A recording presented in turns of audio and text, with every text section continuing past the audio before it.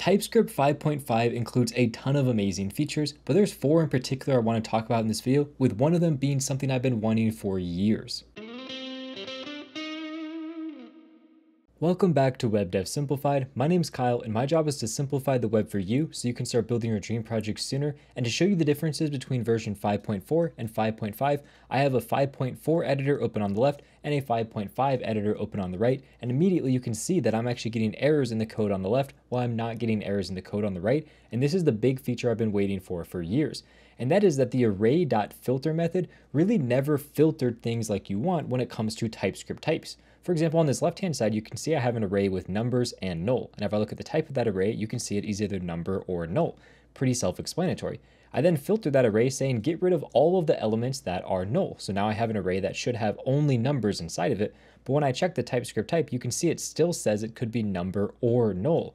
And then when I come down here, obviously I get an error because I can't add 2 to null because it still thinks my number could possibly be null, even though I already filtered all of those out. This was a really big problem in TypeScript and it's something that was quite difficult and annoying to solve, but luckily with TypeScript 5.5, they completely removed the need to do anything extra. As you can see now when I hover over my numbers array, it properly is typed as an array of numbers, and this has correctly removed all of the null values from my array, and it's made sure to reflect that in my type, so now I no longer get any errors. And this works with even more complicated type checking, even if you have a function that you pass in. If I were to just really quickly replace this code with this code instead, you'll see now I'm actually doing a filter based on this is number function, and this is number function is checking the type of whatever value I pass into it. You can see my array originally is string, number, or null. I have all three of those, but after I run it through this is number filter, you can see it's just a number array on the right-hand side in version 5.5, while in 5.4, you can see it didn't know how to actually filter that number properly. So I really love this quality of life feature. It just makes type inference inside of TypeScript so much better. And that's actually something that the next feature I want to talk about does as well. If I just replace the code here,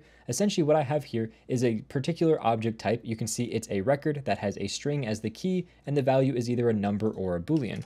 So it would be an object that looks like this. We have a key, and then this is either a number or it's going to be a Boolean. That's exactly what this object type represents. So I'm saying I pass in an object and I pass in a key, which is a string, and I want to just get the value and I want to print only the numbers. So here you can see I'm checking to see if my current object value is a number, and if it is, I want to add one to it and print it. Well, I'm getting an error on the left-hand side because it doesn't know if this is a number or if it's a Boolean. It's not smart enough to be able to filter that down.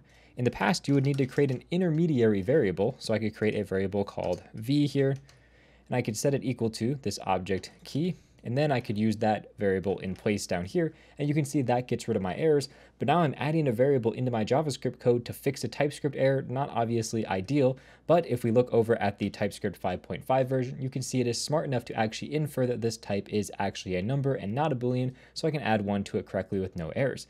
Again, this doesn't add a new feature to TypeScript, but it makes working with TypeScript easier because now type inference, which is probably the best part of TypeScript, is working even better than before. Now, these last two features were all about fixing type inference, but this next one I want to talk about is actually kind of a new feature, and this feature is all about handling regular expressions. So I'm just going to copy over a few regular expressions into both of these different browsers. We have three separate regular expressions.